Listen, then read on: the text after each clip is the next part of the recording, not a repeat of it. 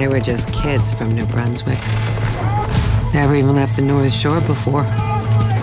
Dad trained them the best he could. But how could they possibly be prepared?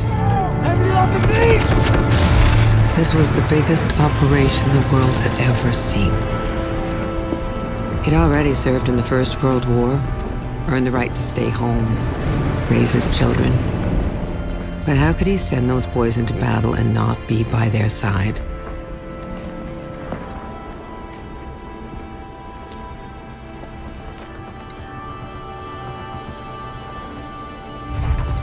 Many were killed that day.